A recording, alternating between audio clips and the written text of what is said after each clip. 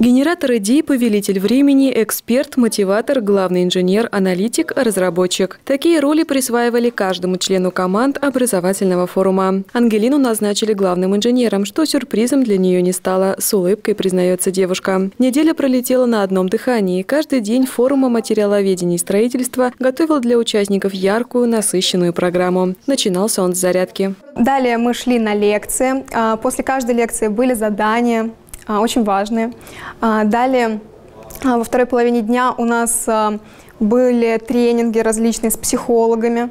То есть получается так, что в первой половине дня мы прорабатывали свои hard skill ы, после обеда свои soft skill ы прорабатывали. То есть над нами работали как над личностями уже. Вечером для команд проводили досуговые программы с инженерным уклоном, квесты, логические тест-драйвы, инженерный крокодил. Ангелину пригласили на форум по результатам конкурсного отбора как участницу Олимпиады «Я профессионал». Для того, чтобы попасть на форум, она преодолела онлайн-тестирование с решением задач и конкурс мотивационных писем. Своим опытом по возвращении из Сочи девушка поделилась с младшими курсами с РФТИ на творческой встрече. Выступление получилось живым и эмоциональным. Я на самом деле просто забежала в последний вагон, потому что оставалось прям, там считанные часы оставались.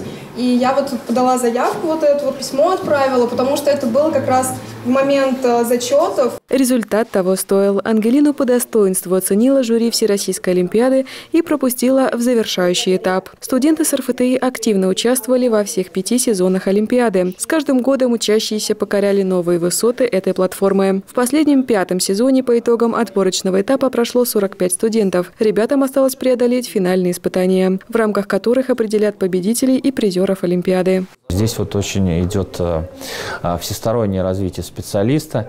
И вообще ребята, которые участвуют в этой Олимпиаде, они, конечно, попадают в банк, так сказать, золотой а, молодежи. То есть я профессионалов.